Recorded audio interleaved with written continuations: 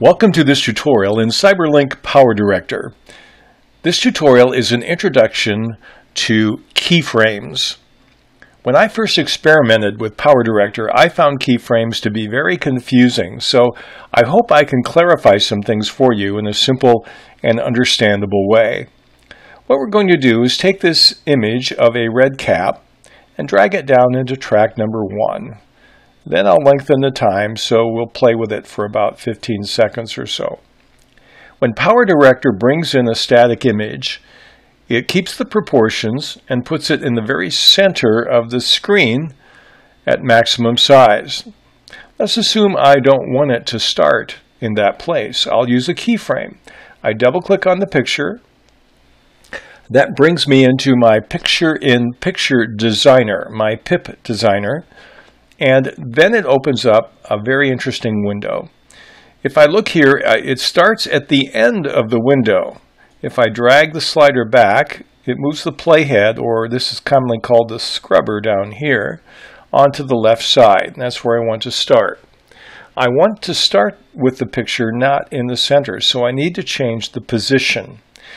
We, the, all of these are different kinds of keyframes you can apply to this object. We have position, scale, opacity, rotation, freeform, and 3D depth. Now this one is not highlighted because I'm not working in the 3D, 3D display mode. But we're just going to focus on position to show a little bit about the power and use of a keyframe. So at this moment in time, now this doesn't necessarily mean the beginning of the movie. It's the beginning of the clip defined in your movie. Where this clip starts is 0, 0. So what I'm going to do is I'm going to change the position here.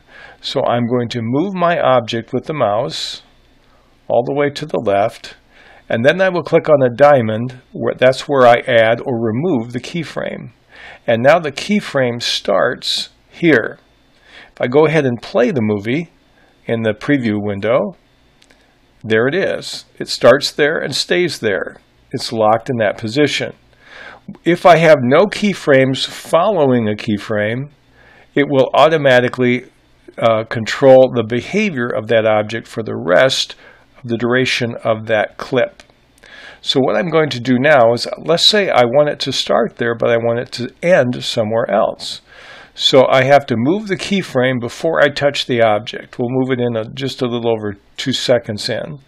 And then I'm going to move the object and let go. And when I do that, it automatically uh, adds a keyframe at the new position.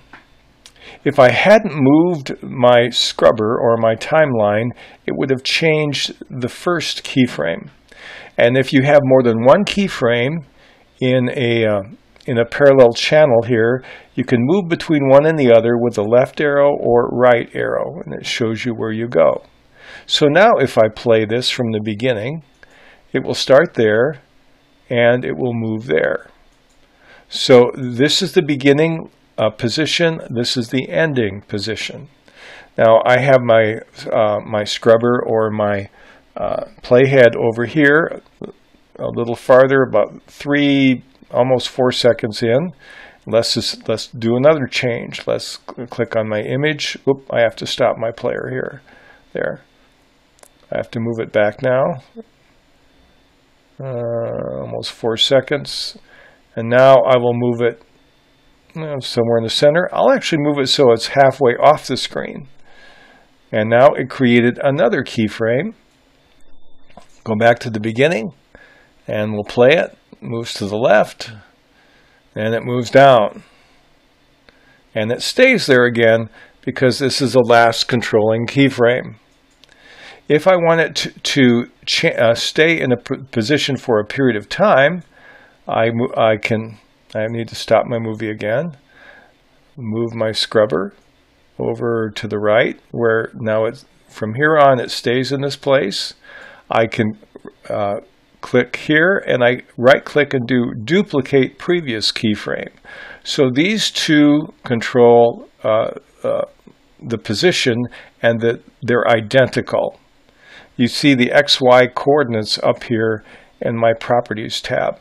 Now why would I want to do that? Well if I want to make sure it doesn't budge an inch because now I'm going to add another one I move over here and we move our cap up to the upper left. And now it will be rock solid between these two because the actual uh, characteristics of these two keyframes are identical. And this one is different. So let's go back to the beginning. We'll hit play. And it goes to the left, goes down to the bottom, stays locked there till it hits the next keyframe, and then it moves toward the last keyframe. Now the other thing you can do once you have a keyframe is you can move it. You can click on it with a mouse. Oh, again, I have to be out of play mode. Click on it with a mouse and move it. I can shorten the time. It stays at the bottom.